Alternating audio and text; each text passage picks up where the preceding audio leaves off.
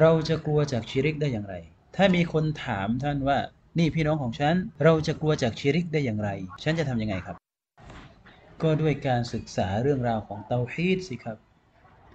ใช่ครับ และศึกษาเรื่องของชิริกเพื่อที่จะไม่ตกไปอยู่ในสิ่งนั้น และด้วยการขอดุอาครับ อย่าให้เราและลูกหลานเป็นผู้ที่สักการะรูปปั้น และด้วยการห่างไกลจากชิริก และผู้ที่กระทำชิริก นบีอิบรอฮิมอะลัยสลามครับขอดุอาให้ฉันได้ห่างไกลหมายถึงให้เขาได้อยู่อีกฝั่ง และฉันได้อยู่อีกฝั่งหนึ่ง ท่านอิหม่ามอัลมัดครับอิหม่ามของอาลิซุนนะกล่าวว่าถ้าฉันเห็นกาเฟรฉันจะปิดตาของฉัน เพราะกลัวที่จะเห็นศัตรูของอัลลอฮ์เจ้าแมวได้กล่าวคำพูดที่รวบรวมไว้ทุกๆ ความหมาย ฉันหวังที่จะไม่เห็นลิงและลิงจะไม่ต้องเห็นฉันเพราะเขาคือศัตรูของอัลลอฮ์ครับ มันมีความต่างระหว่างการมีส่วนร่วมกับบุคคลเหล่านี้ในวันอีดของพวกเขาและการเฉลิมฉลองในเทศกาลต่างๆ ของพวกเขา กับการฆ่าคนเหล่านี้แล้วยึดเอาทรัพย์สินของพวกเขามาสองกลุ่มของมนุษย์ครับ และกลุ่มที่อยู่ตรงกลางก็คืออัลลุซุนนะฮ์วันเจมะมีความโกรธเคืองใช่ครับฆ่าพวกเขาไม่ครับ รักษาสัญญากับพวกเขาทำได้ครับ การซื้อการขายทำได้ครับ เรียกร้องเชิญชวนพวกเขาใช่ครับต้องทำพยายามที่จะเข้ารับอิสลาม